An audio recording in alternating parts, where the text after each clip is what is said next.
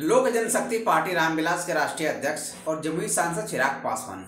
चिराग पासवान बिहार की 11 सीटों पर अपनी दावेदारी पेश कर दिए।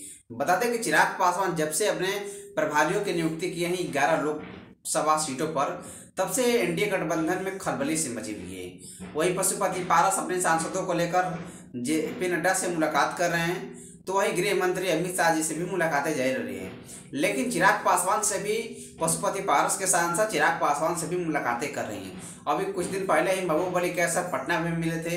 अभी तीन चार दिन पहले दिल्ली में चिराग पासवान से मुलाकात की और कहीं ना कहीं पशुपति पारस के सांसदों को भी ये आकलन हो गया है कि चिराग पासवान के ही वजह से हम लोगों को भी नैया पार लाएगी।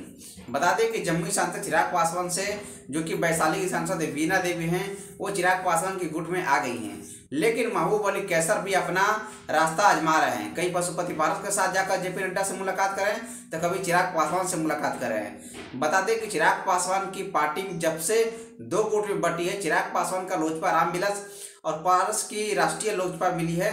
तब से दो गुट में पार्टी बनने के बाद चिराग पासवान बिहार का भ्रमण पर लगे हुए हैं।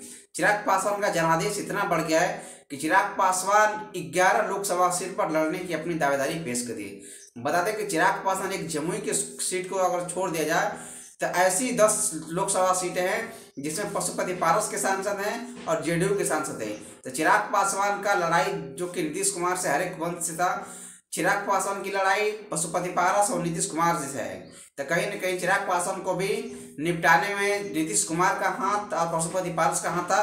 तो उन्हीं लोगों को खिलाफ जाकर चिराग पासवान भी पशुपति पारस और नीतीश कुमार को बर्बाद करने में लगे हुए। कोई कसर नहीं छोड़ेंगे चिराग पासवान तो देखिए साथियों, क्या होता है सीटों के बंटवारा को लेकर? बहुत जल्द इस पर अपडेट आएगी। तभी के लिए इतना ही। जय हिंद, जय बिहार।